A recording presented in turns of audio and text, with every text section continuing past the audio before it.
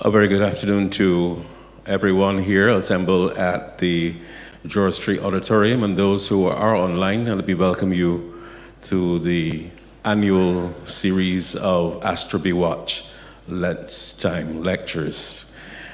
It is my pleasure today to introduce our, our guest speaker, who I will reveal shortly, as you probably know by now. But this uh, wonderful young gentleman has certifications and degrees in the areas of law, political science, sociology, economics, international economic law, and education. He is currently a lecturer in law at the University of the West Indies, Cave Hill, and an attorney at law. He has lectured at top UK universities, the Durham Law School, the School of Oriental and African Studies, and the University College London. He has practiced in international finance and banking law, which included structured products, derivatives, restructuring and loans, general commercial contract and corporate law, and an offshore law. He came into practice in the debt capital markets in London during the aftermath of the Icelandic financial crisis. The Icelandic crisis occurred when banks became unable to refinance their debts.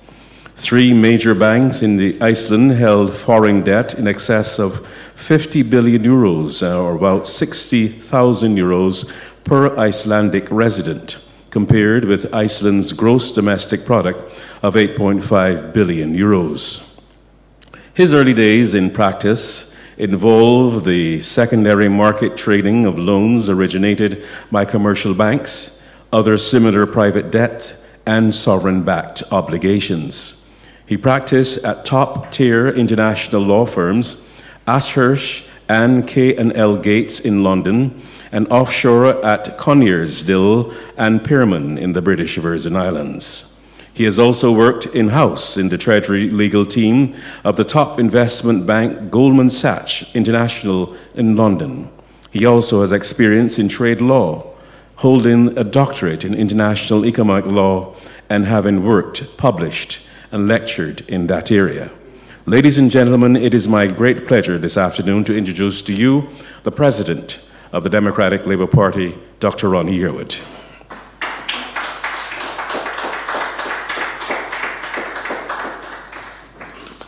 Thank you, thank you, General Secretary uh, Steve Blackett, for that wonderful introduction. I just want to welcome everybody watching here uh, in the room, those online, and those uh, in the diaspora to our lunchtime lecture. I, I, I want to really frame this afternoon's lecture as much as it is about the, an assessment of the economy of Barbados some five years since the uh, first election of the uh, Barbados Labour Party. So it's an assessment of where we are as a country, as much as it's about an assessment of them I will also set out some broad terms in terms of where I see uh, the Democratic Labour Party under my leadership taking Barbados. So we'll have a little bit of visioning this evening as well.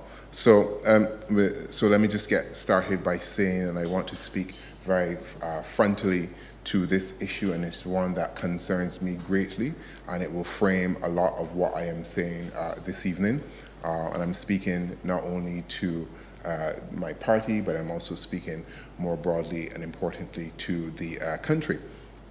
And the nature of public debate and discourse that has emerged since the Barbados Labour Party won government in 2018 has been somewhat, uh, if we are honest with ourselves, has been somewhat disturbing. Uh, you know, one has to be presumed uh, innocent, and if I wear my legal hat in this instance, um, until uh, you're proven guilty, um, and there's a burden of proof. What we seem to have in our public discourse, in our public debate, in our public space is that the government seems to have a free hand uh, where the burden of proof somehow has shifted to the opposition voices as if it's up to those who critique the government to, uh, to, to, to set out the government space, and that cannot be right. Uh, it is the job of the opposition, it is the job of interest groups, unions, churches, everyone to offer critique to the government. That critique can sometimes be followed by solutions, as we have this evening, and at other times that critique may not have direct solutions. And I am urging everyone to understand every single critique that you have of the government does not require does not require a uh, does not require a solution. Now, importantly, um, what we have here, therefore, is that everyone begins to sound very neutral. So everyone speaking in the public space, sometimes from radio talk show hosts to um, uh, persons in commerce, persons in the union, everybody's sounding very neutral. Nobody seems to want to offend the government for fear of something, whether that's fear of job, whether that's fear of loss of contract. So what we really have in Barbados is a kind of stifled critique of the government, and we're never getting the true picture of anything. So therefore, our policy and our policy making is really off at the moment.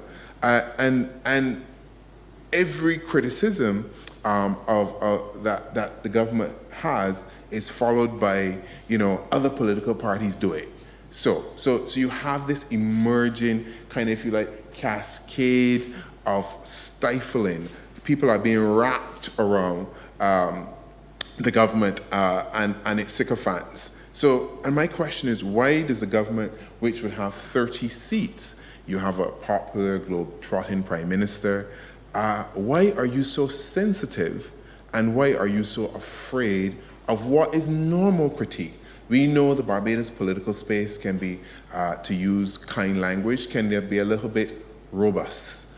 Uh, we know it can be a little bit rough at times, uh, but over the years in our political life, that robustness, if you like, has served us well because it stops us from making mistakes. It holds us back from the worst excesses of ourselves because the opposition or someone is able to say, you know what, uh, Mr. Prime Minister, Mr. Leader of the Opposition, that is not what you're supposed to be doing. This is the direction of travel that I want, I, I, I want for you. So my question is, do we as a society kind of think so little of ourselves uh, uh, that we believe that no one else has a contribution to make beyond the platitudes of the Prime Minister and the government? Um, is it that so many of us are, so many of you are dependent on the goodwill, the largesse, uh, you're trying to cover favor, uh, fear that you just can't offend? And are we afraid of the Prime Minister and this army of sycophants that you see in social media space, that you see in your personal life and your personal space? Um, and dare I say, we have to take back our space. Because if we build this republic of fear, we cannot have the development that Barbados has always known and that we've always enjoyed. We've always had vibrant public spaces. We've always had robust, and tell and people who've been in politics for a while, the 70s, the 80s, the 90s, they on, you know what I'm talking about. We've always had this very robust public life and this public space. And when the prime minister was opposition leader, she gave the opposition uh, no quarter, she didn't give us a half, she didn't give us a mile, an inch, a centimeter, a millimeter, a microscope of anything.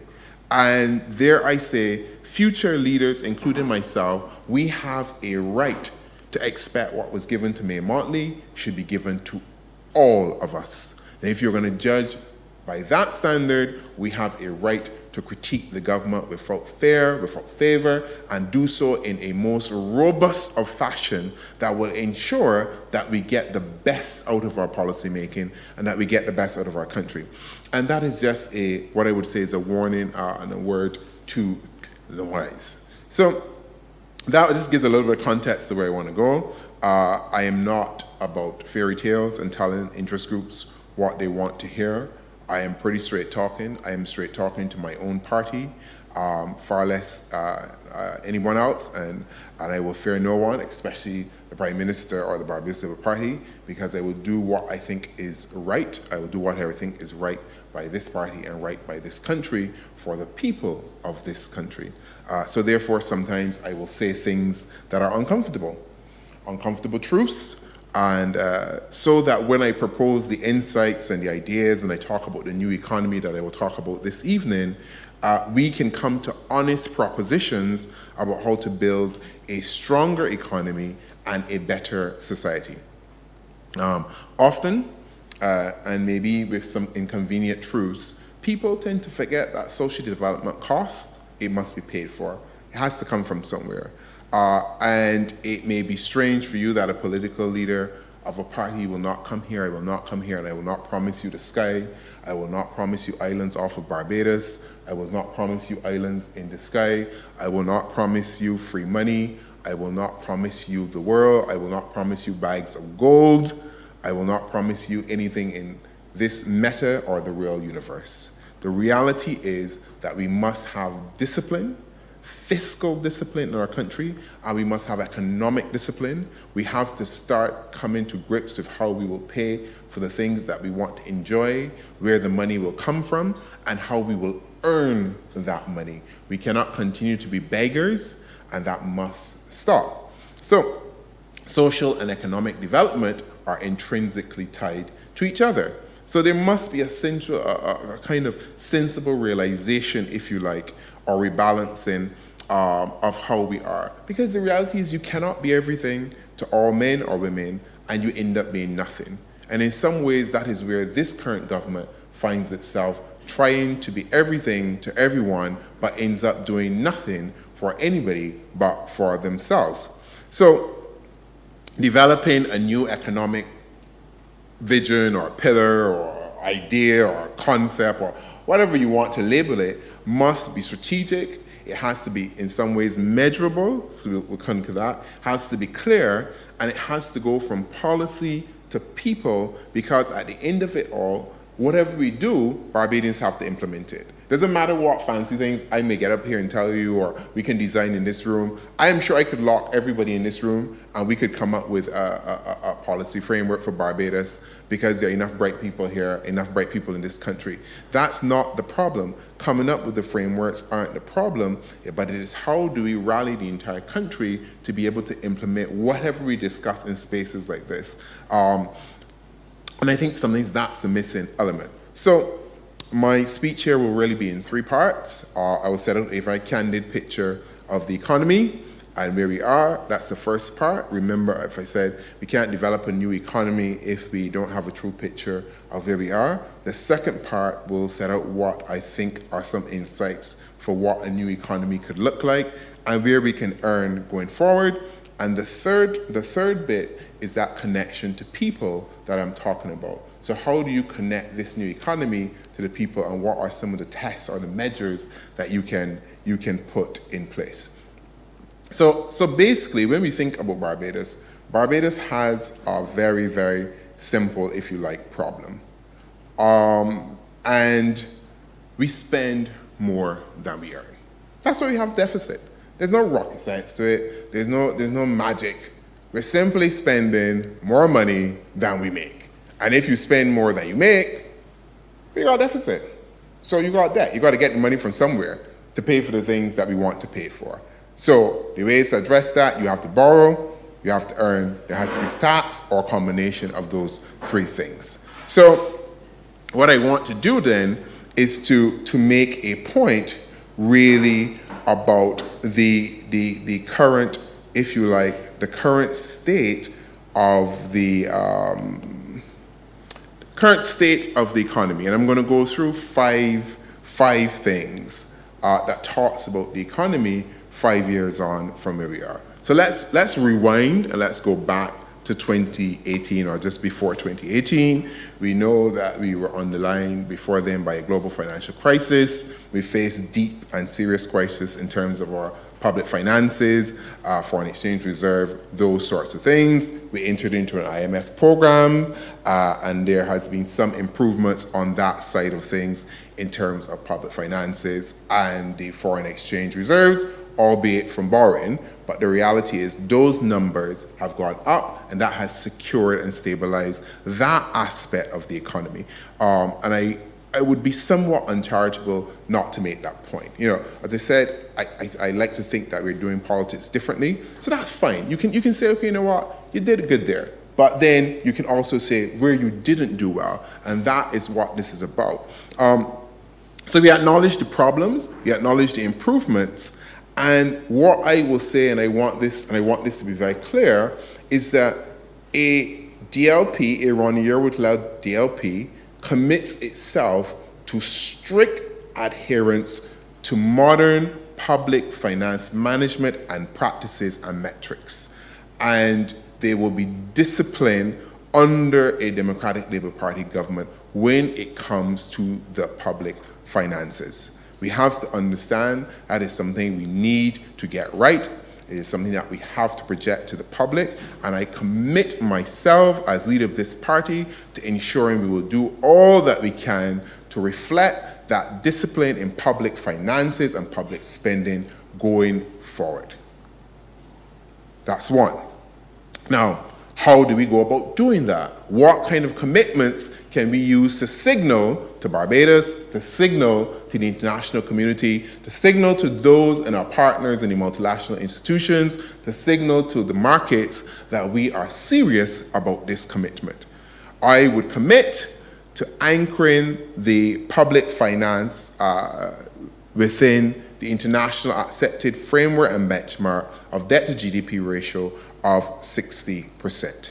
What I will argue here and what is different between the Democratic Labour Party and the Barbados Labour Party is how do we get to that and what does that require and what is the current government doing that I will not do because often everybody likes to say all parties are the same, they're doing the same thing. That is also not true. And I hope by the end of this lecture, you were able to differentiate between a Democratic Labour Party led by myself and the current Barbados Labour Party and what the future under each of those particular governments would look like and to recognize it is not just about personality, but at its core, there are deep philosophical differences about how we govern this country, even if we can agree on some of the metrics in terms of public finance here, saying, for example, I commit to the debt to GDP ratio of 60%. So that is a signal to our international partners, that's a signal to the markets, that is a signal to uh, the agencies of where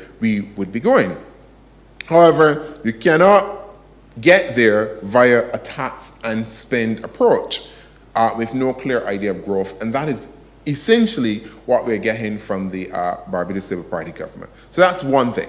Second thing here is that the improvements in public finances, and realize I just talked about, I said, you know, let's come in, give a take. There were improvements in public finances and foreign exchange reserves since 2018, but how were they achieved? Let's analyze that. You can give somebody a point, but then you can break it down. How were those things achieved? Those things were achieved through what? Borrowing. That's problematic. So even though you stabilize the public finances for the books, the achievement was through borrowing, which has created other problems in other parts of the economy.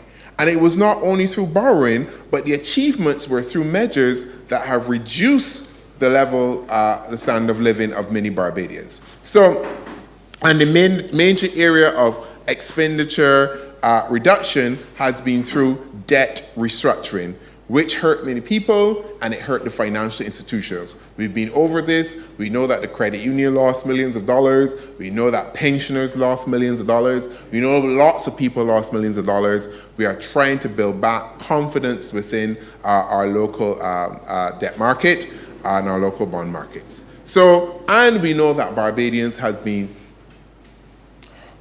how to put this? Barbadians has had to face, that's the kind way of putting it, uh, a series of taxes and levies, some 30 and rising. I'm not going to go through all of them, increase in bus fare, we had the pandemic levy, we had garbage and sewage tax, we had the health service levy, we have increases in gases, we had the child uh, tax allowance eliminated, but yet you're talking about growing your population and supporting people to get more children makes no sense. We had tax on Airbnb, yet you're talking about creating new entrepreneurs and trying to help them out uh, in terms of a uh, uh, uh, being part of this gig economy and the new economy.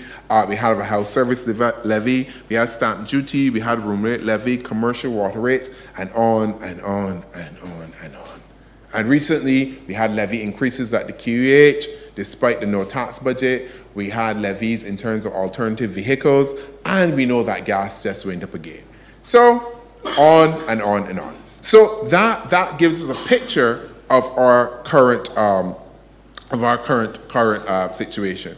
uh, Ronnie Yearwood-led DLP will focus on improving public finances, but not constantly trying to eat into your pockets. Because that's the difference and that has to be that there has to be a difference of approach. If i'm trying to improve the public finances but i'm doing so on the back of the middle class and i'm doing so on the back of uh, poor barbadians that in the end does not help. So the books and the records are going to look good so, you, so you're going to get glowing praise from the imf about good job you're, you're meeting the BERT targets and everything is going well and, and we're on the we're on the road to, to, to recovery, but the reality is that recovery then is not translating to the real lived experience of people. So, so there's, there's, a, there's a disconnect. So, and I'm not sure sometimes the government recognizes that and they're like, oh, people ain't, people ain't being thankful for what we're doing. It's like, how can you be thankful? Because you're building your image, your global image, on my back. Literally, you are dining out on my back. So, so there, there is a problem. There's a problem there. So, so there, there's obviously a disconnect in their heads because they can't seem to, to see it. So what we have to do, we have, to, and everybody talks about it, we have to find creative ways to grow the economy. We have to generate more high-paying jobs, and we have to have inclusive growth uh, instead of wealth circulating among a few friends and handouts to keep people on board.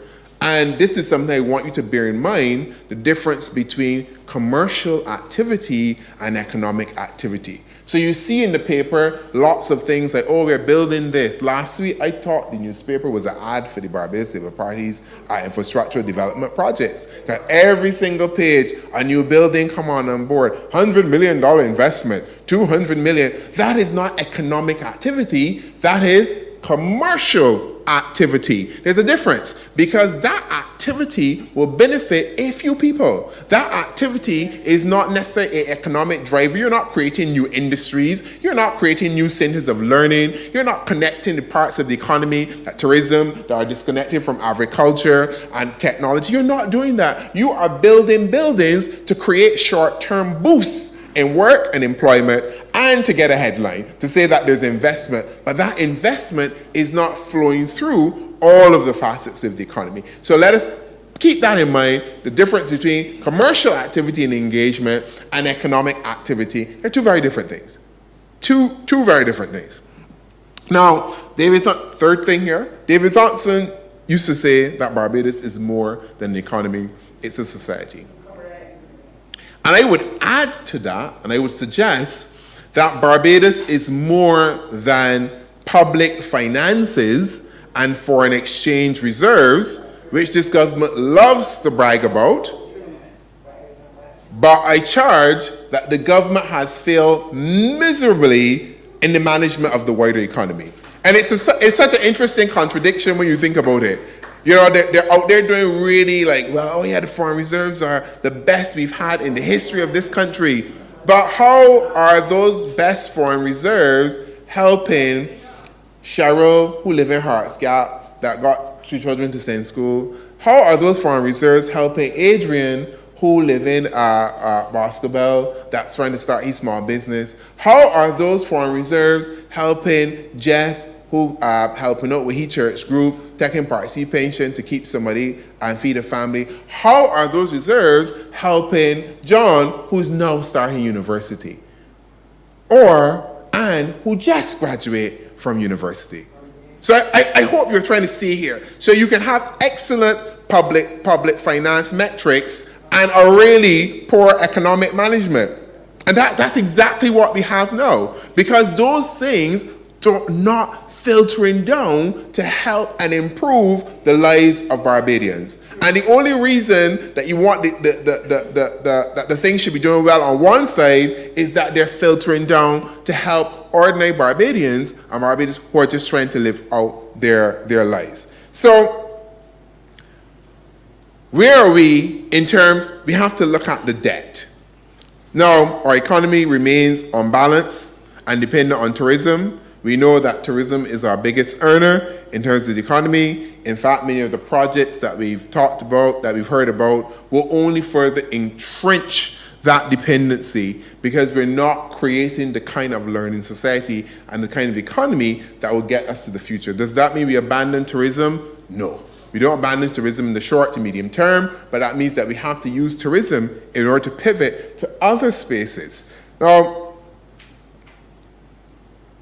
I want to pull up um, a chart, chart, chart one. Uh, those at those at home, um, those watching online will be able to see it, but I'll, I'll talk you through it. So, our debt problem. So, what is the fundamental issue with Barbados? We have a debt problem. We are literally stuck in second gear. We are literally in, if we're not already in, we are very close to a debt trap. So in 2017 slash 18, debt was $14.8 billion. That's just a fact. There's no point fighting up about that.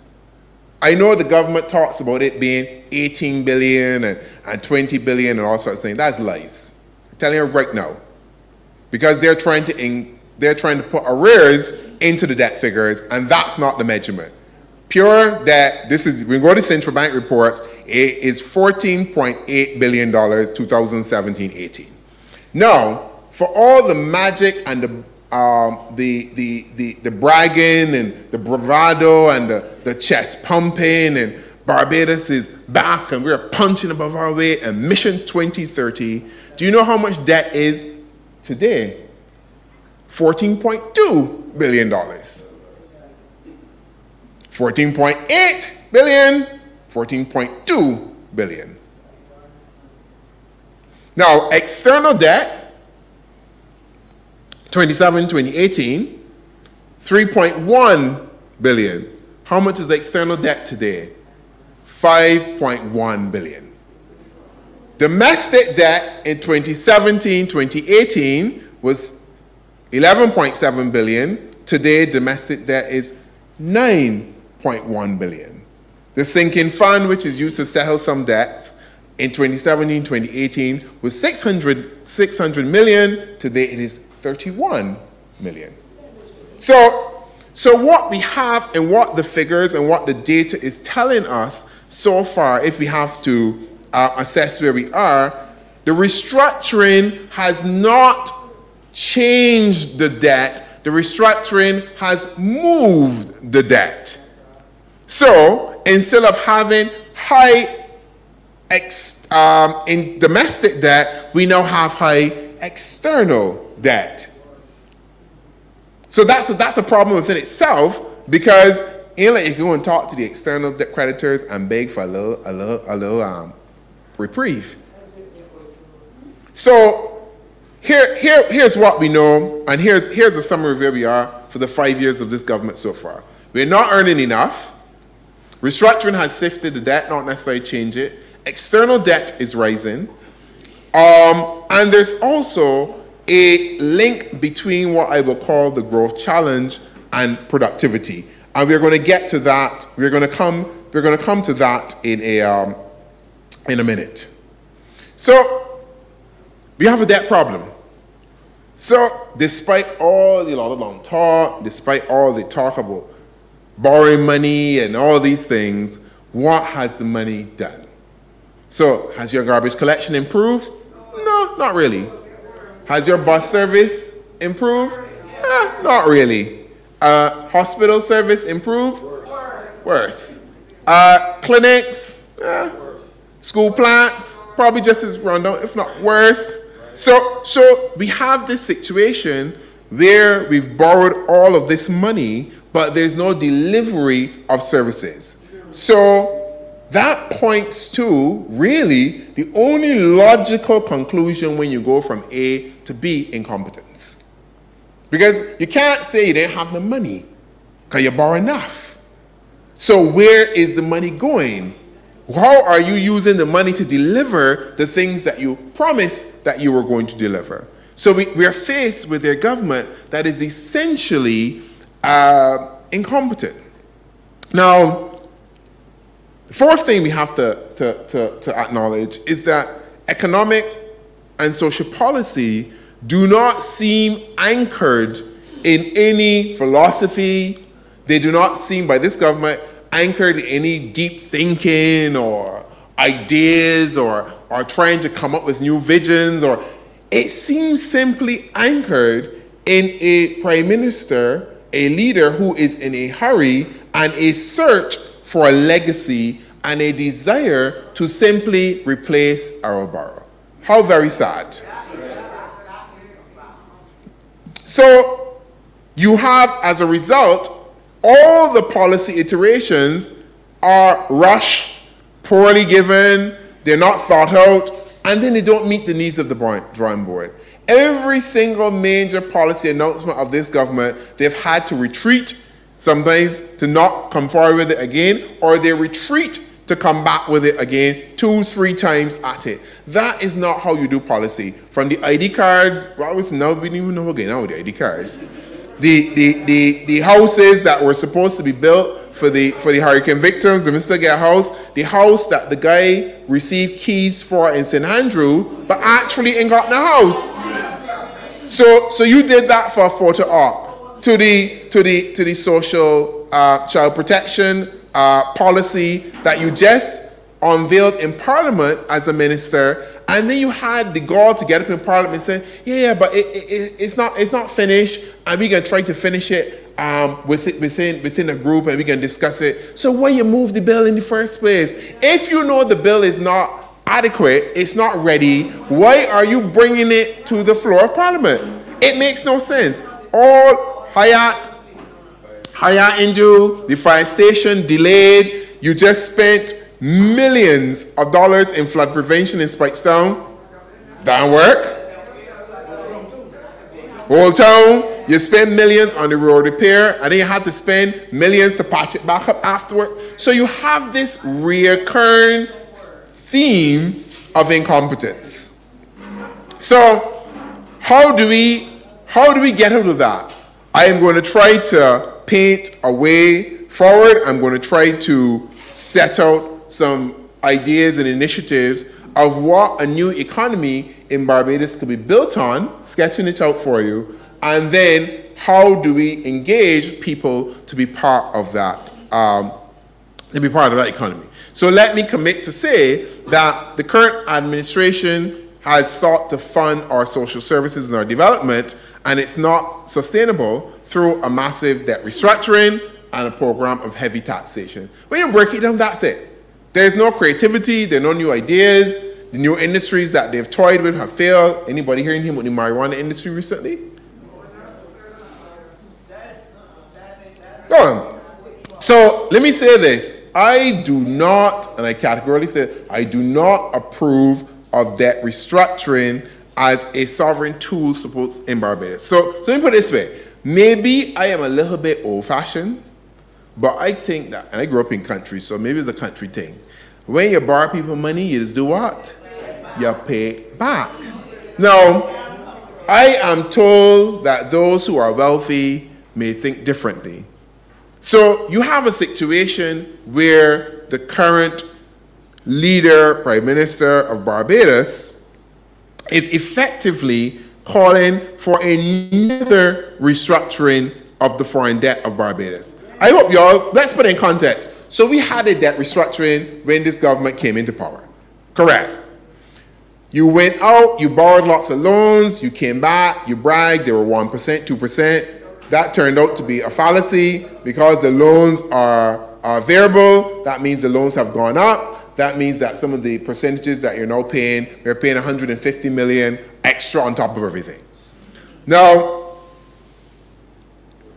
Prime Minister may not understand what she's doing, but if she's out there now going, and you saw the, um, the interview, what was it at the Rockefeller Center, um, saying, oh, you know, I want you to help, help me adjust the, um, the, the, the floor and the ceiling, because, you know, we want a little ease.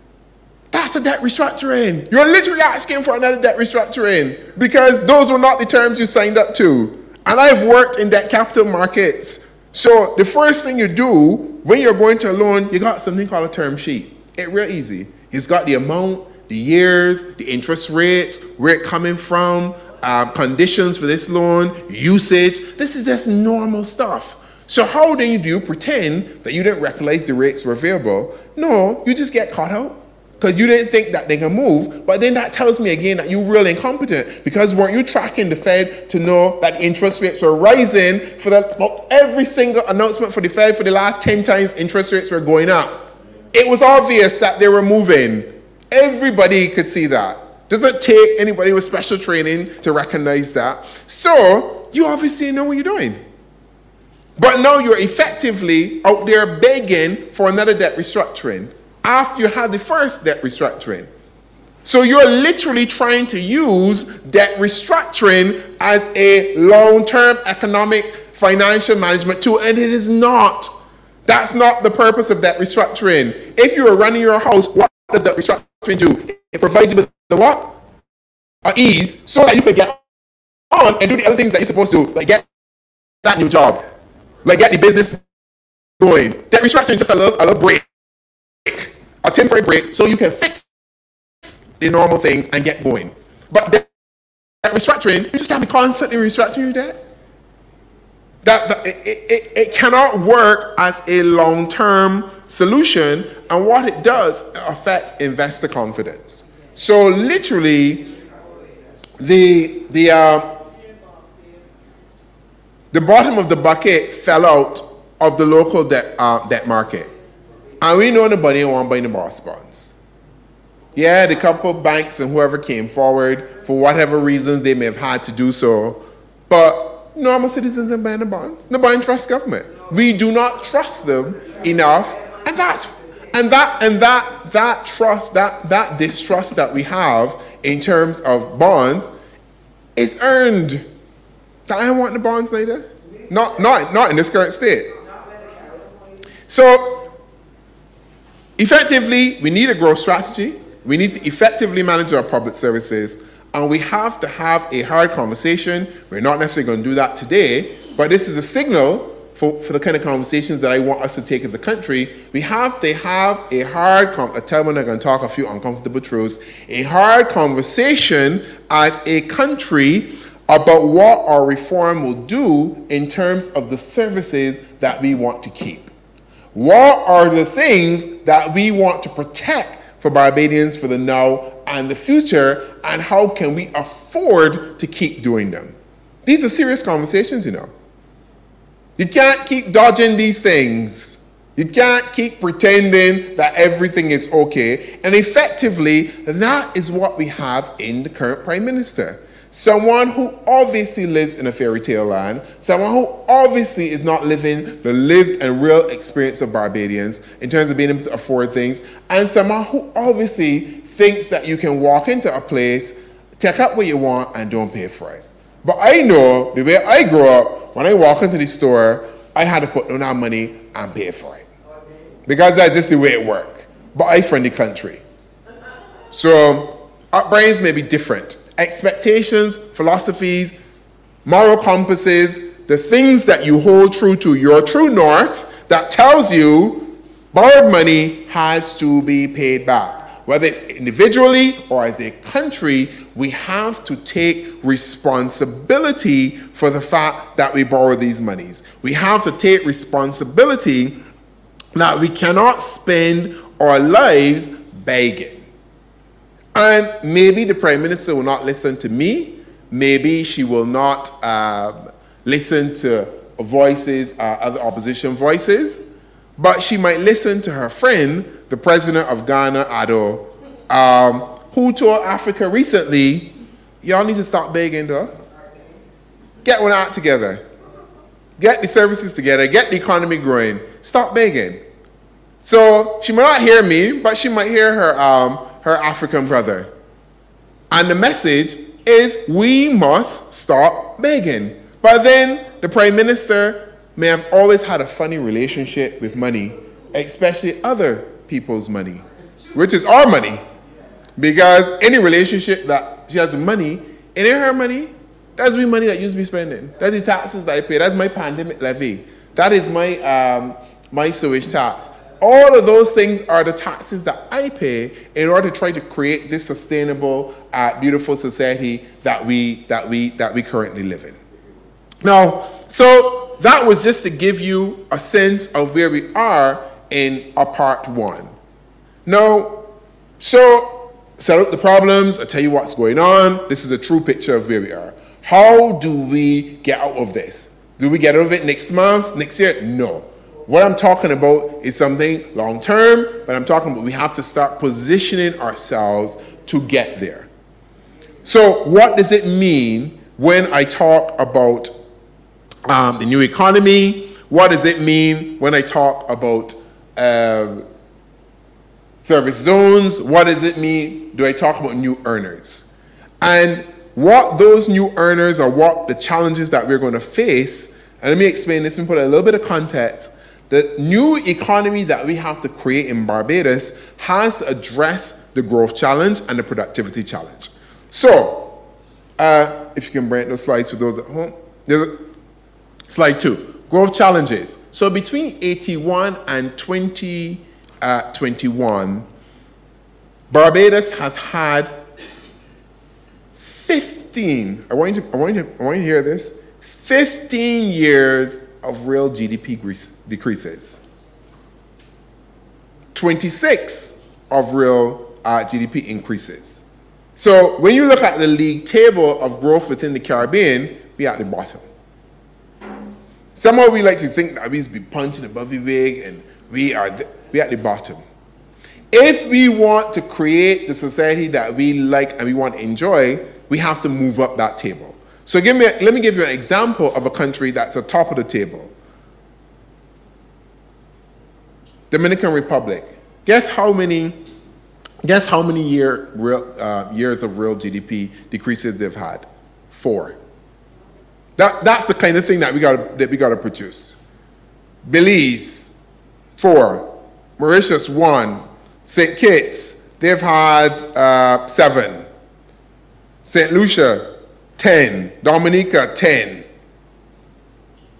Bahamas, 10. Singapore, 4. So the countries that we may need to emulate, it's a simple thing. They just get more years of growth.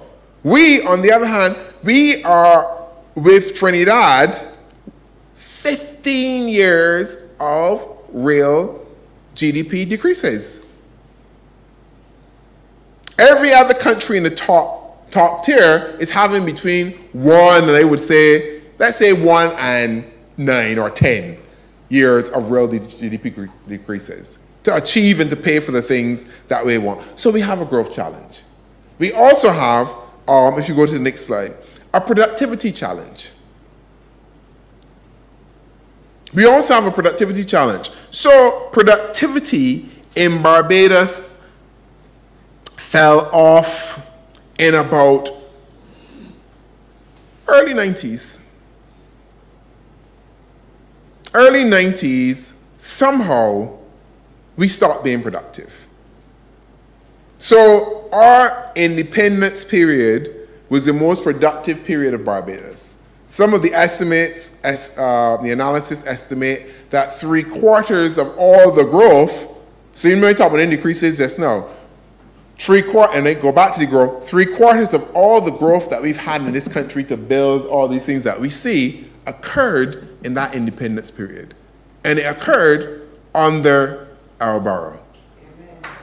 And, and, and it's an interesting context. There are reasons for it. We were growing the economy, we are establishing new things. Obviously, you can get growth. All those things have to be taken in context. But the point is, the majority of our growth occurred at one period, and then by the mid 90s, we were just, we were almost managing decline.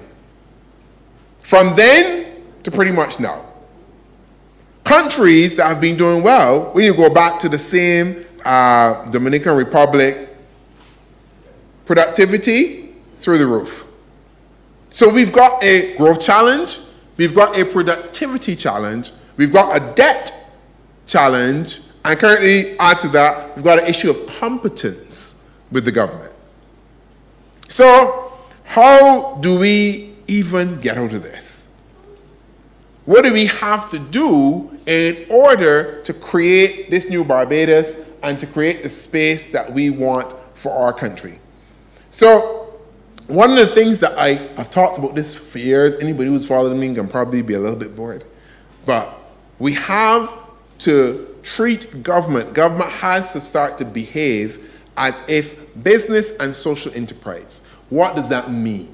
It means that we have to find, government has to create ways to open spaces for job development and for jobs. Government can use its levers to open spaces for people to create businesses and to create jobs. Everybody can't be employed by the government. Everybody can't get a government pick. It can't happen. So if everybody can't get government pick, where are they going to be employed? They have to be able to create their own businesses. That business is either here or that business is somewhere else. They're living here, but they're earning globally. So I, I use the phrase, I, borrowed it from a friend, and I see he's there smiling. They can live locally, earn globally. And that's where we have to pitch. That's where we're going. Or even if you're living here, and earning locally, you are not necessarily a government employee because government can't employ everyone. That's just the reality. We can pretend to, but it can't. So what other areas can we create employment in? We can, and this is something I've talked about, service zones. What is a service zone? How do we, how do we kind of uh, rocket boost our, our, our, our, financial sector and our international um, business sector? And how do we create new spaces for new jobs? Now, a service zone is not simply trying to repeat um, early pre and post industrialization by invitation, and the exclusive economic zones uh, that we had, which, like tourism, can contribute to economic growth, but do not contribute to economic development. Realize there's a difference there. Because there's no technology transfer, there's no innovation. You're not creating a learning economy when, you, when, you, when, you're, a, when you're a tourist based economy. So tourism can create the ability to pay for things because you get foreign exchange, but there's no transfer of knowledge. We know this. There's no innovation. There's usually sometimes no linkages because half the things you want to support the industry you end up importing, so you're taking the same foreign exchange to, to, to drive the industry. So right now, there are people asking the question, is tourism actually contributing to our economic development? Serious, serious question. And they're trying to go through the deal, is tourism worth it? That's a serious question. That's something we have to think about. But for now, let's park it. So, what is a service zone? We're talking about a physical space, we're talking about centers, we're talking about hubs that can support finance, banking, tech, shipping, arbitration. They've done something like this in Dubai. The International Financial uh, Center, which is the financial free zone, is a financial hub for the Middle East, Africa, South Asia, or the Shanghai uh, Free Zone and Arbitration Center. You can pull up the next slide. So, what is it required to set up a service zone? It requires a set of laws to govern the behavior of the people, businesses in and outside of the zone, and importantly, what you need to do, and this is my, my legal hat on here, you are literally creating a legal space or system by which an economic system can develop around. That's all it is. You're just creating rules by which everybody can behave in that space. So, what do you need to get it? Properly designed incentive packages for mature businesses and startups. So you're not simply trying to give people tax breaks, exorbitant tax breaks, alerting to Barbados to dig out we eye, make money, ship it somewhere else, and we still don't benefit and claim my empl- I employing 50 people, so I doing something for Barbados. No, you're not. Our businesses has to employ people. I don't know why we just brag, or the business employ people. But obviously you have to. Who gonna work? The ghost? Somebody got you gotta employ somebody. So that is not something to brag about. My business employs 50 people. I've come to Barbados and I've employed 50 people. So we're supposed to give you the country, the keys, the kingdom, and everything because you got employ 50 people? No. So the incentive packages have to be realistic to the kind of Barbados that we want to create. No, so it's not simply about giving you tax breaks and exorbitant tax breaks because you are going to come and then we're going to put it in a, in a brochure. Barbados has um, international firm A, B, or whatever, and you know, we're, we're doing well. And then when you drill down, yeah, they employ 50 people, they don't really pay a tax. Corporation tax, you reduce from 30% to base rates of 1%. So the men paying the taxes uh, but you're going to put it in a glossy magazine because you want to look like you're attracting business to Barbados. But how are they benefiting this country? They do not. That's the problem. Now, the development of large scale projects must be tied to the development of the social capital of this country. So if you are coming here and you want to build a Hyatt, what are you doing for Bridgetown? Which school that you going to sponsor? What is the private public sector partnership that will develop to ensure that you start funding a school within your environs? Which labs you paying for? Which roads are you going to pave in the communities around and to your businesses? What community centers will you be building in your area? This is how we have to start thinking about development. You just can't come here and bulldoze a space, build a big high rise, do your thing, make you money. The communities around you are in the same spaces. The schools around you have not improved. You have not contributed to the social capital or developing country. 10, 20 years later, you build a rundown, you pack out your briefcase, pack out your profits, and you go along with your business. And you left and you leave us there holding the bag. The politicians who bragged about creating 100 jobs $200 million in investment. I, I, I just be bewildered when I start talking, you know. Yes, we are doing so well. How? It has to stop.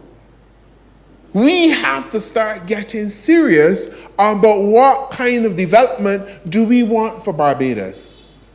Yes, nobody against foreign investment. Of course, come to Barbados. Of course, build whatever you need to build that is in, in congruence with our laws and our, and our development of our country. But how are you tied in the development of the country? And that is the way that international investment in national development is going. That is what you're talking about when you talk about good corporate social citizens. All that has to be tied in. So Social service zones aren't necessarily about building new edifices of concrete. You can use existing brownfield um, sites. And some of the other things that we can do with these zones, you can create arbitration hubs, shipping hubs, logistic hubs. You can offer professional services, attract new businesses, attract new investments to Barbados. You can use it as a space to test financial products, um, build out blockchain or all the technologies that you want, electronic contracts, all of these things. You can allow English and New York law to be used. For example, Service Zone could provide for um, a Shanghai arbitration center so that there's arbitration disputes that can take place governing Chinese law. We could be a first. There's no point pretending that China is not a major development partner of the Caribbean and that China is not a major economic power of the world. So how do we how do we leverage that relationship to benefit us, not to disadvantage us? Are there disputes that will be happening within the region with Chinese investments? Of course there will be.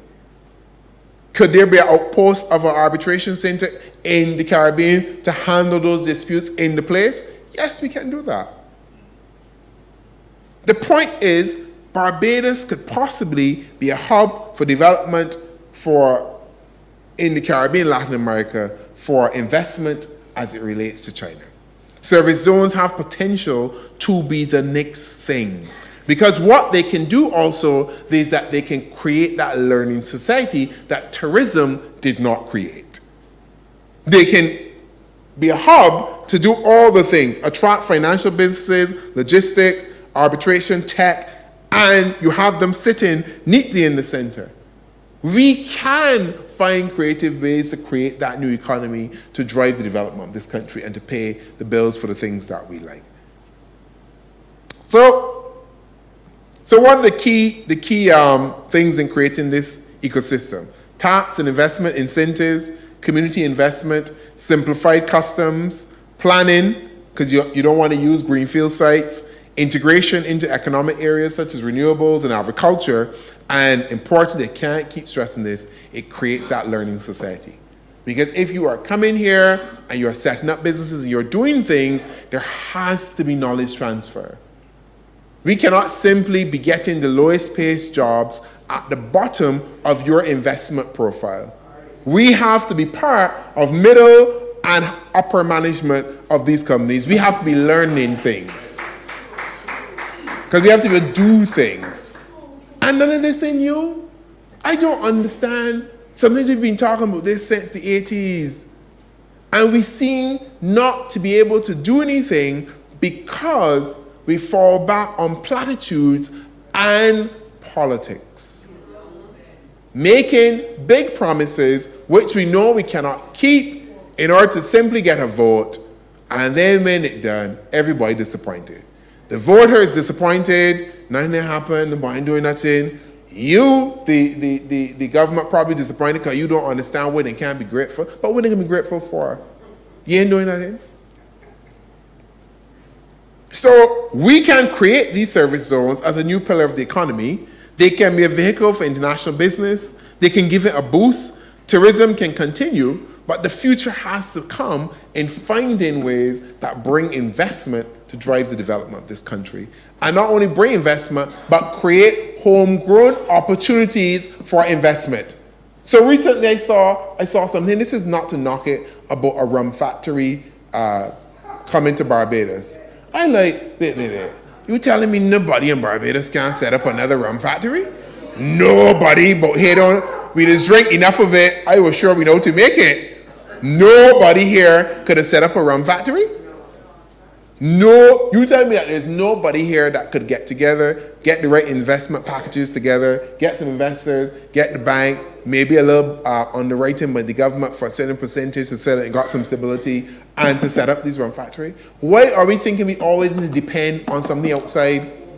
And they ain't gonna do nothing special. They're gonna buy an old plantation, they're gonna retrofit it, put the, uh, the vats in, the tanks, bring some barrels, slap a label on it, um, you know, special rum connoisseur in the fields and hills of Barbados. You can get a video, beautiful flowing music. You can see some kings, uh, maybe a few smiling people, and they can sell that at premium, make enough money, employ some people. Yes, of course they're employing some people, but how are we benefiting? How, how have we become wealth creators and wealth generators? We still just in the field though. I talking frank. We ain't own nothing. We still depending on somebody else. All of these projects that you see, are you telling me there is no one competent and capable here? Every job you open the paper, somebody coming in. What you tell? So why all this education? You tell me nobody can be an accountant? Nobody can be a beverage service food manager? Nobody know to be a wine connoisseur. Uh, what's called a sommelier? Not every day opening paper. It's ridiculous. How does that create a learning society? And then people leave and we wonder why they're leaving. So, and importantly, this is the, the last bit, um, so I'm getting there. The last bit of this presentation is that I want to talk about some development tests. So if you're going to create a new basis for economic and wealth generation because you want people to own their economy, to drive the country, there has to also be, there also has to be a way to test that. So there has to be a certain series of questions that every single set of investment should have to pass. So, for example, does the investment make local landowners part of the project to benefit directly, financially, or from shares in the profit? So, the people that live in Bridgetown, that live in Nelson Street, and cross there by, um, by Bay Street, any of them got investments in Hyatt? They gonna benefit? They might ask them to come in and want to work them as maids and cleaners, but they gonna benefit from Hyatt. then got shares in that? Did anyone think, okay, how many people live in the environs? Okay, we this will be a major part of a project in your neighborhood. Are there ways to integrate you within the development of this project? All right, can we give you a percentage? Say, you know, I just throw an arbitrary number. Let me set aside five percent, split it up among you. You know, every every year, whatever you get premium, a couple hundred dollars. You gotta start thinking, people. You gotta start thinking about wealth creation, generational wealth. Anybody think about that? Any of these projects that are built, do anybody in the areas own something or part of them? Have they been asked? Have you invited them? Have you talked to them about how to create the packages? I mean, you're probably a man, they ain't got the money, but you gotta help. You gotta create the ladder. Now, the second question for any project, does it contribute to the socio-economic development of Barbados? In simple terms, does it help to pay for uh, social services such as education and health? So our, our thinking about projects has to go beyond, when you hear, the, when you hear a minister announce a project and he said 100 million and 50 jobs, ask the next question. That's base thinking. Of course, it got to create jobs and it got to be an investment. What is the next step? Is that project contributing to paying for education and, and, and, um, and health? Outside of taxation, are you talking about have they, have they entered into some kind of partnership with a local school? Have they entered into a partnership with a local clinic? Have they entered a partnership with a community center? Have they identified, okay, you know what? I got 10 rows around Nelson Street that I want paving, hard scap thing. Okay, I can pay five. All right, that's my contribution to, to social welfare and capital of this country. And then I can go into a contract, I'll be responsible for these five rows for the next 10 years or something. That's pressure off the government. Because you just can't, it's not just about you making money, filling your profits and your, and your, and your books, and then you flying to Barbados and doing well but all the services and things around these spaces pop down. People ain't living proper lives. And you're creating a have and a have not society. That cannot work. And I will not have it. Not in this country. Not but here, somebody says.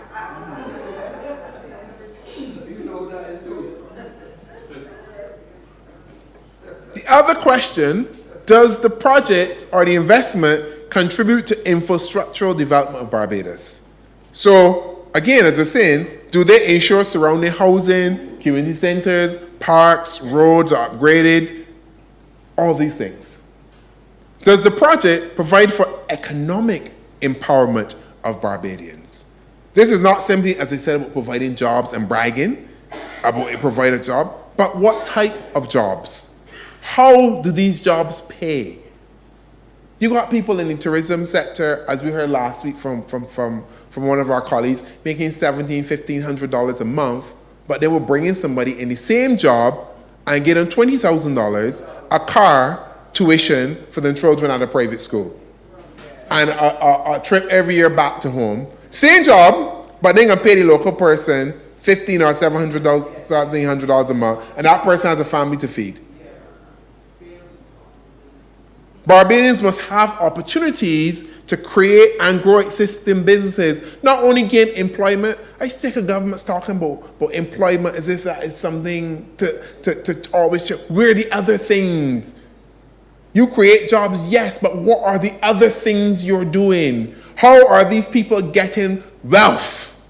How are they able to then create another generation of their family that will not be dependent on government for handouts. Then they will be able to help somebody else. How are they then not going to own not only the mother house, but going to be able to create another house? How are they then not only be able to, to not only go and have a first degree, but their children might be able to do a master? It's always the next level. Their parents might have $50,000 in the bank account, they should have a 100 they should got less. Everything has to. In, so, investment and creation of a new economy cannot simply be about job creation. That's one aspect, the most basic of aspects. It has to go beyond that. Has to lift. We gotta lift the game. So, does the project, another test, create, provide for wealth creation opportunities for Barbadians in that these projects and these investments have to buy goods, they have to procure their goods and services from small to medium sized businesses in Barbados. The government promised this. What, what, what, how much they promised that, that the government should buy um, goods and services from small, and they don't do it?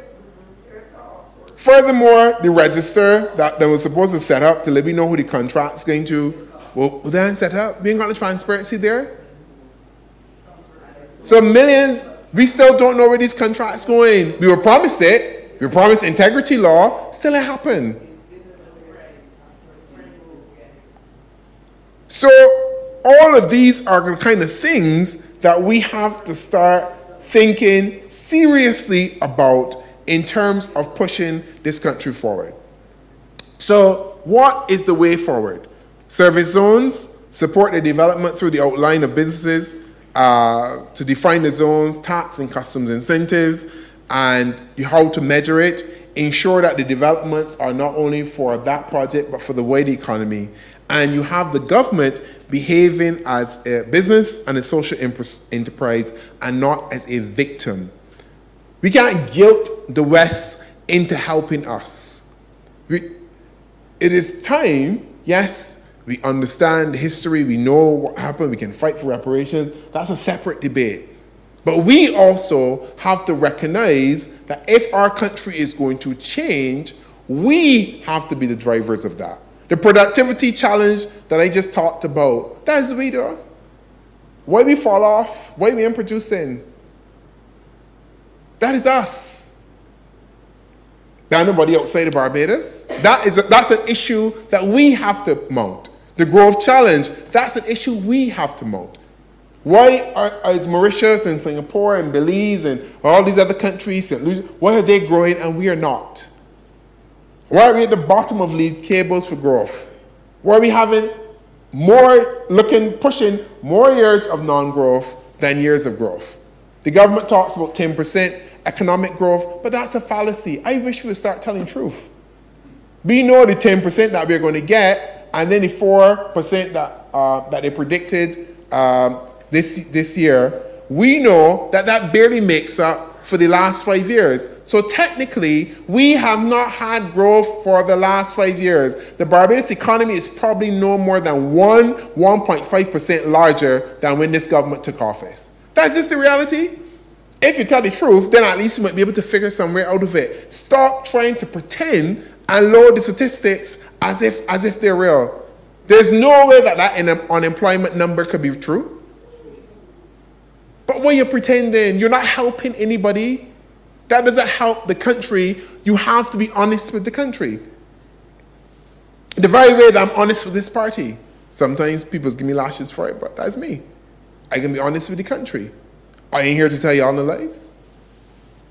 You have to then make the decision as to this, this man telling me truth. Okay, all right. This, this is something that I could get involved in. This looks like a direction that I, that I can take, that I can, that I can be part of. So I want to leave you with this, and it's something that, that over the coming months, over the coming uh, year or so, that I, will, that I will definitely develop and work on. I want to leave you with the five things that I will keenly be looking at. You know, you can call them Ronnie's high fives if you want. Five areas that we have to focus on. Because we're all over the place. We're in Punka. We can't do everything, can't be all things to all men and women. You have to have, and my general secretary is always telling me this discipline. Focus and discipline. That is what is required. You have a, a, a government that is not disciplined, not focused, all over the place. One minute is climate change, one minute is marijuana, one minute it is uh, tourism, next minute is islands off Barbados, next minute is Hyatt, next minute is this, this, that, that. You open a pastry shop and you feel good. You know, they're cutting a ribbon for pastry in Lime Grove and you feel good, but then you're talking about healthy lifestyles. How do the two match?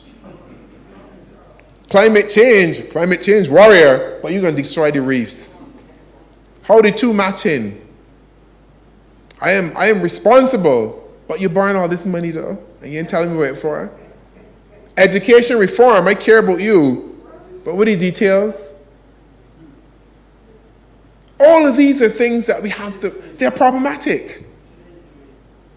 So, one of the five things that I believe Ronnie's high fives that we should focus on?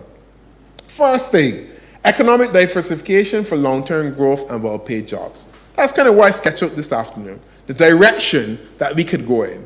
Because we need money to run the country. People need money to run the households. You don't run on prayer. I believe in prayer, but everything can't run by prayer. Is God praying and is God do.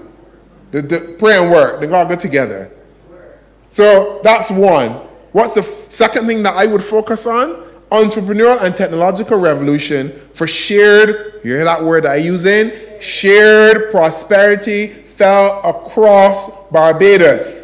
Not just prosperity for some, but for all.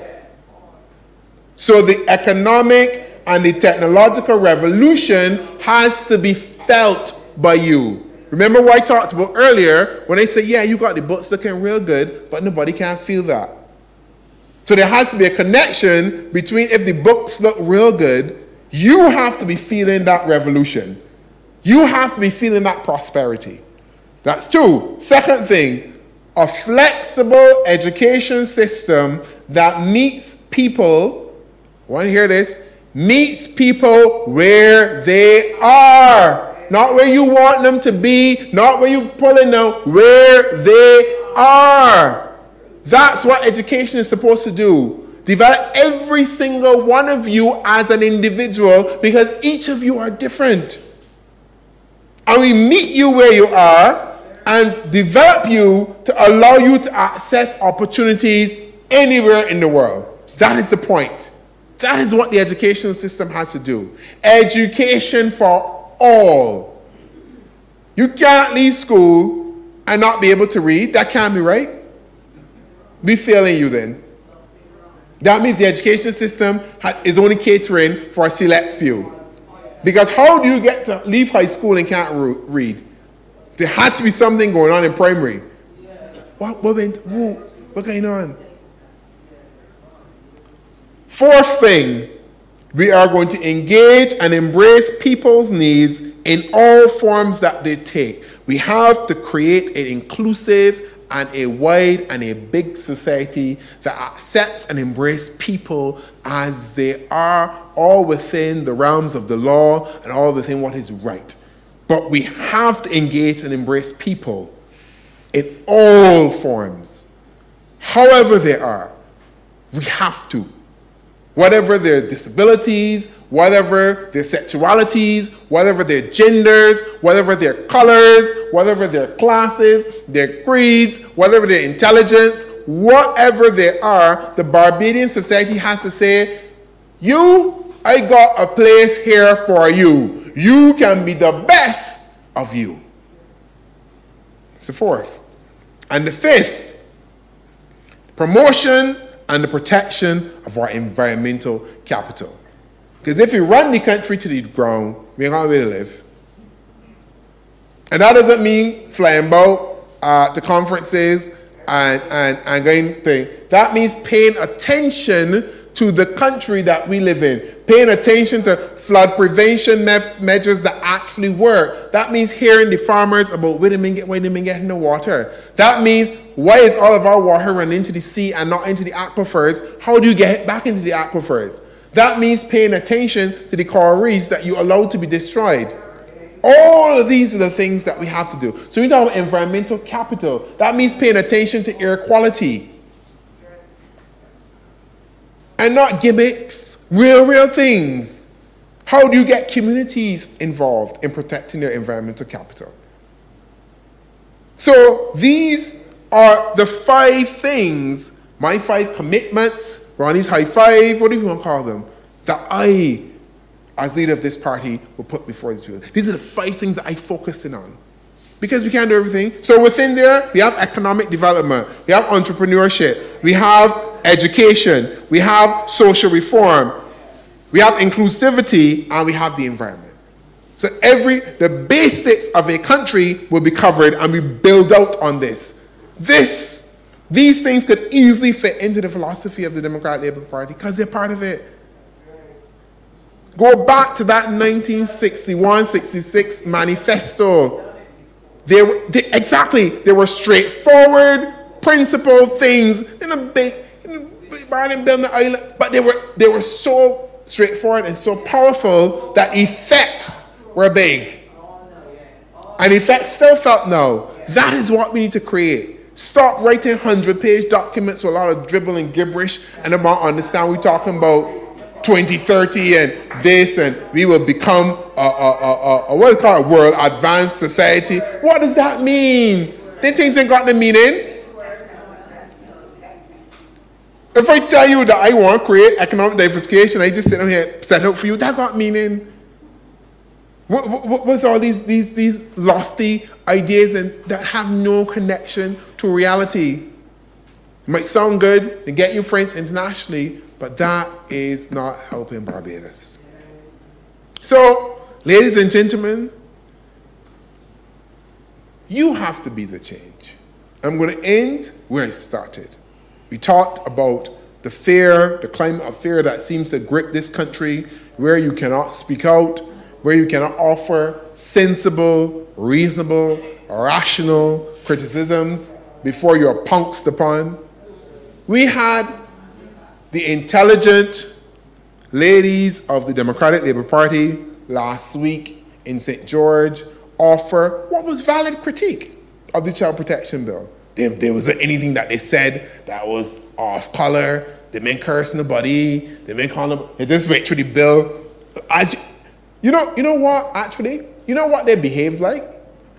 They behaved as if they were MPs. Because if they were in Parliament, that's what they would have to do. Section 1, Mr. Speaker, without met the you think about this? And, and that's the debate. That's what they did. Critical, careful analysis of the law in Parliament. That is what, as an opposition party, we're supposed to do. They did it. And rather than going, okay, okay, um, okay, uh, uh, ladies, okay, Democratic Labour Party, I take your point, and that's it, don't agree with there, but I will see what we can do. The man come, the minister of the encourage the people. He let talking about how they're seeking the low road to off it. Okay, what? It made no sense because they are they are sensitive to criticisms, and for a government that has all, I want y'all to recognize this: the government of Barbados does not have anything in its way to stop it from doing the things that it's doing. So every single decision from 2018 to now for the last five years, they have to own it. Every single one. There's nobody in parliament said, well, you know, the opposition party filibuster this. You know, that, that keep me up late at night and I'm um, delay the motion. We can't delay the motions in parliament. We can't filibuster nobody. We can't do any of that. So they have to own it. These last five years of incompetence and dabbling and dibbling and, and everything, it is theirs. And recognize, as I said, I am not uncharitable. I understand, I recognize the foreign reserves have improved. I give them a take. But then I explain how them improve, which create other problems in other spaces. So they have to own this. Stop calling the Democratic Labour Party name. We've not been near the wheels of government for five years. We can't do nothing, but this is your government. Own of it. Own it. Man up, woman up, whatever y'all got to do, take responsibility and stop trying to blame. You can believe that the minister. It's not. You could believe that he get in Parliament and try to blame the Democratic Labour Party for the Child Protection Bill as if we moved the bill. Oh, y'all do. The, I was like, but this is you, Bill. You sitting and draft this. We didn't even know what it was until it went up in Parliament website. How it get me problem? We just offering you proper criticisms of it. Everything that happened, or oh, the Democratic Labour Party. The, the House is in bill, the Democrat. How we could build a house. In fact, we did build a house in this party. so actually we did. So in five years, they can't get none built, but we could build one in how, in how much? In a year? Less than a year? In less than a year, we could build one. They have five victims that they can't get houses for, but this is a party that is band together in the old-fashioned way and got one built. So take responsibility. That is five year, your fifth year anniversary, and maybe five years you've become a little bit older and wiser. Take responsibility for your actions. Take responsibility for governing to the Barbados Labour Party and the government. That's, that's my advice to you. Own up. This is your government. All of it. In a way that no other government has had the opportunities. If there's no development in Barbados, it is you. There's no growth in Barbados, it is you. There's no constitutional, uh, new constitution in the republic, it is you. You ain't got no ID cards, it is you. The buses ain't working, it is you. The clinics ain't working, you. The schools run down, you. Still can't get a symbol, you. All you. The garbage and collect, you. You can't even say that we were in the that we in the policy space affecting you because we we can't. All of it belongs to you. So I want to end where I began, and I want to urge all Barbadians to reclaim the public space. You don't need to be neutral for nobody. If you got a point, you met your point, in a manner that is, you know, comports a good form in debate, and you move on. You don't gotta try to hedge it. Well, you know, you just hear everybody writing. As the prime minister is a uh, very, every article gotta begin with a praise. No, you don't gotta praise but if you point, if it ain't working, it ain't working. It's not simple. You don't gotta massage the egos. If, if, if, if, if your ego is so easily bruised, well, then maybe you should, that person shouldn't be in politics. Go and find a different profession. You got a job to do. So I would urge this party to continue to serve and to try to serve. We, in the last couple of weeks, we've seen what happens when we come together, when we bring logic and order and discipline to debates and contribute to public discourse. It has effect. We know we can do it. I encourage us to continue to do it. I am most, most grateful for this opportunity to speak to the party, my party, and to speak to the country. Ladies and gentlemen, I thank you very much for this.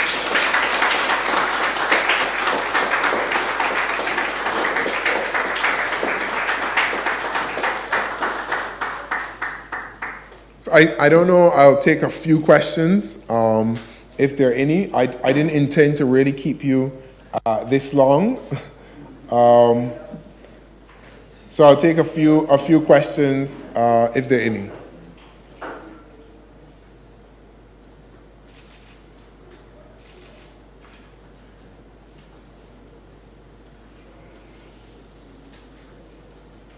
Good afternoon, um, Comrade President. Good afternoon. Um, your presentation was well informed and well done.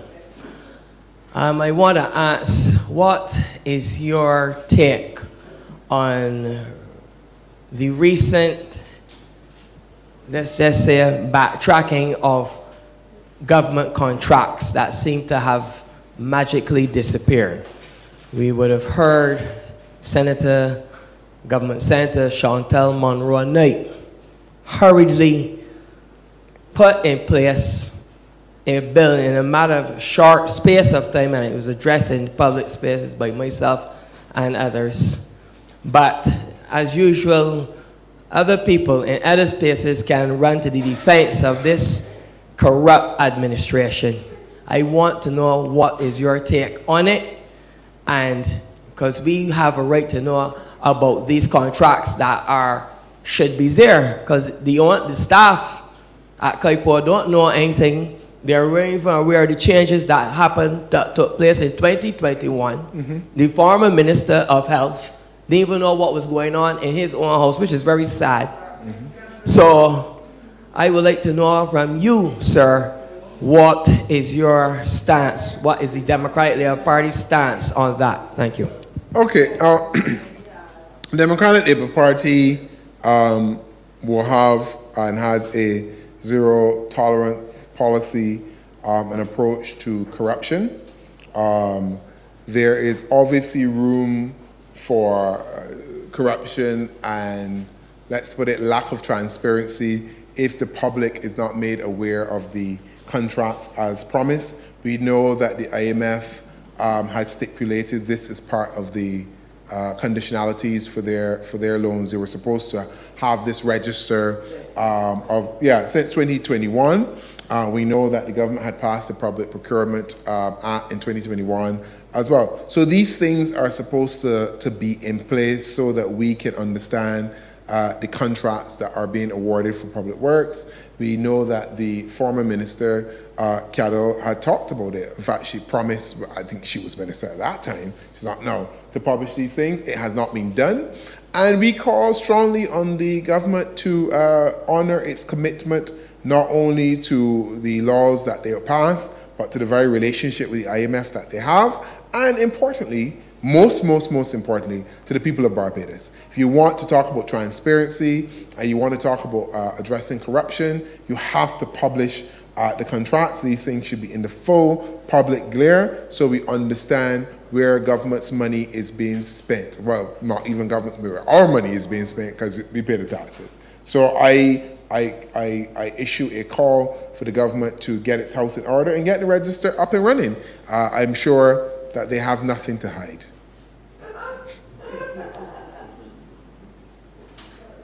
Mr. President, uh, yeah. first let me congratulate you on a thorough presentation. What I'm sad about, mm. and all the praise that I've just given you, is that there are 30 members in parliament, mm-hmm. and not one, not one can address the issues that you have. That makes me sad. Mm. For a person who has been going to parliament since 1964, listening to debates, forget you reading of them, listening to debates, mm-hmm. and 30 members in parliament and cannot even speak to the issues that you've just spoken of, it is sad. It is sad. Let's talk about deficits. I'm not an expert in this particular area, but I've read. In 1976, the Democratic Labour Party left government. The, the debt was $246 million. Mm-hmm. I said so at a meeting, and Frank, late Frank, I said, What? I said, Yeah, but the foreign debt was only 60. He said, Oh. the point is that all in that $247 million only $60 million was owed to foreign entities. That mm. was the record of the Democratic Labour Party. And when you look from 1961, I can't help being historical because mm. the facts are there. Mm. From 1961 to 1976, -hmm. everybody here know what progress was. You mm. knew that. Yep. So I don't have to repeat that. But that is all that we had on the way. Now in 1976, and by 1981, Tom Adams character $1.2 billion. 1961, a budget, the budget in 1961 was only $25 million. Mm -hmm. But you know, by the time the Democrat Labour Party came into office, 4th of December 1961, there was a deficit of $1 million. How was that $1 million created? 25 plus 1. Because they had made increases in the civil servant salaries mm -hmm. of $1 million and the Democrat, they're part of finding money to pay. and then you come along, you heard about people talking about a Barrow shirt, a Barrow pants, because things were open up. There was a crash program that opened up. People were getting $20 and a penny a week. Mm. But that $20 and a penny a week could have done so much in those days. I, I, just had to say that because I was really enthused mm -hmm. by your presentation. And the fact that what made me get up and speak is when you made references to 61 and 66 manifesto of the Democratic Party. Because we know what took place, mm -hmm. but we don't know what's going to happen tomorrow. No. So people don't go back. You have to go back.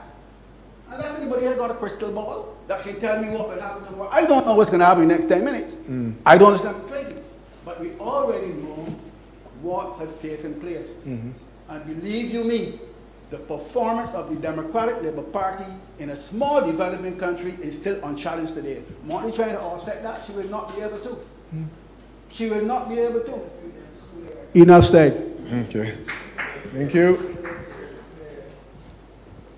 Uh, I'll just take one, one or two, and then uh, we'll, we'll wrap up and allow you to uh, enjoy the, the lunch that you've also come here for.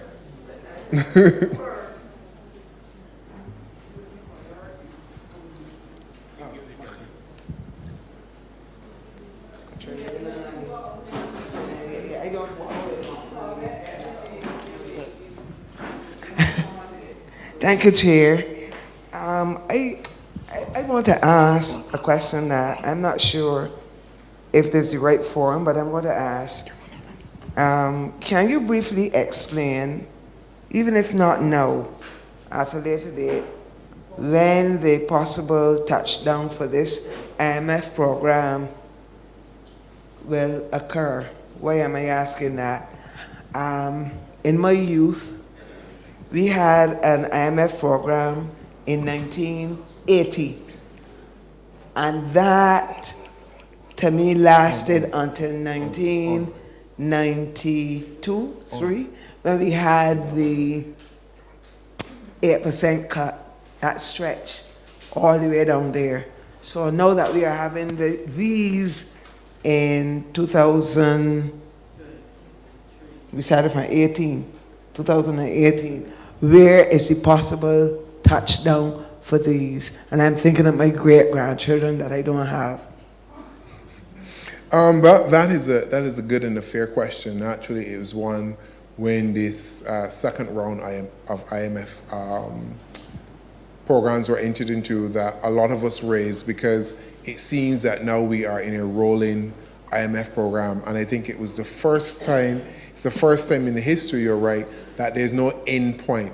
So under both IMF programs, under uh, Tom Adams and Erskine Sandiford, they were very fixed there was there was a start and, and an end. This is the first time in the history of Barbados uh, under IMF program that we just we don't know. We just roll in from program to program. Uh, there's no there's no fixed point, so it's a, it's a fair question. We just don't know. All right, I'll take one more and then uh, we'll wrap up.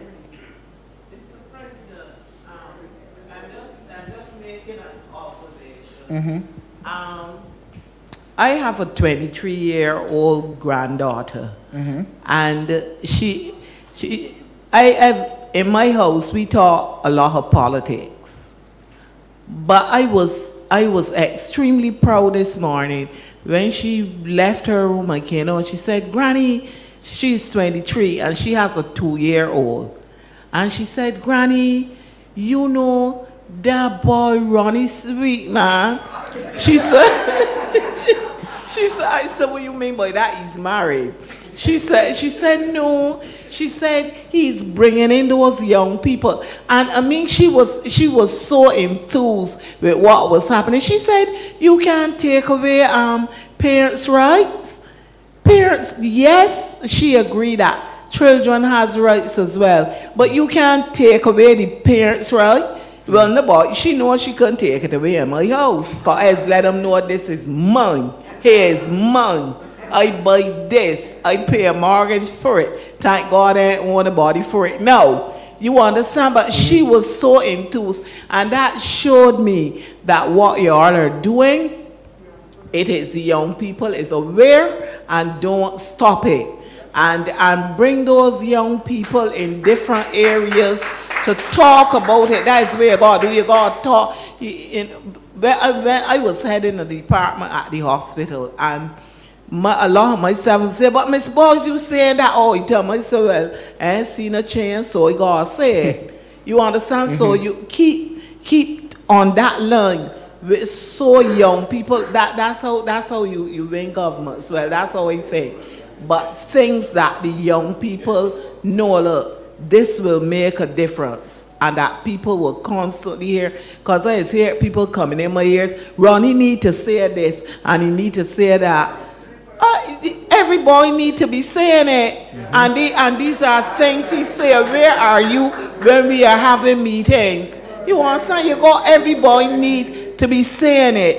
And this infighting, some of what we gotta stop with that and come together. I do not, I cannot understand how intelligent people who've been in politics all their lives do not understand that if you don't come together uh, and people see it, don't care what you do, we gonna got people telling people what happening, you know. So if we don't come together as a strong, unity is strength. It is strength. So we have to be saying the same thing. Yeah, we have disagreements even in our own home. But that does not mean that when you don't see me, I had 17 people marching against you, and when the bell ring, all of them march back. Big, big man, big man, without, without test, because every one of them march back there. I- yeah, we need to. I, I would, I would respond. What's that? What's that old saying? Um, um, tongue in, tongue in cheek. This got, this got, this got words. Tongue in cheek. This got words. Um, so look, you know, it is, and, and this is this is just a, a little bit of a broad analysis here. A political party is really a assembly of varying interests. There'll be people who want different things. Somebody want to go in different direct, directions, different expectations. All expectations and directions can't be met. You have to compromise. There has to be a spirit to say, look, you know, as I said, these are the, I, I just listed the five things that we should focus on. I bet you before you leave here, someone said, but you forget this group, and you forget that, and you forget, and, but we can't, we can't do everything. And I think sometimes in our political space, we end up creating laundry lists, and then we don't get anything done. Because then by the well, you forget, and, and by the time you got a hundred things, and nothing is done. Yeah, and we need to focus. Um, as I said, you know, uh, I think political scientist uh, Devaron Bruce did a excellent bit of analysis that I saw in the paper yesterday of the losses, um, of the challenge that we face. I think he said it was 250% worse than the loss of the Barbados Labour Party in um, 80, 86. So we understand the challenges that we face. He reckons we need a bigger swing than the 86, and Barrow is the only person in the history of this party, not, not even David, was able to achieve that swing uh, that is required if we are going to uh, even come close to, to recapturing, recapturing the government. There's a lot of work to be done, but I am hopeful, I am optimistic and enthused that we can get there. There's nothing that stops us. We can do this um, because, as I've said, and I'll say it again, change the party, change the country. And, and on that note, you are your best agents of change. So, ladies and gentlemen, thank you and have a great weekend.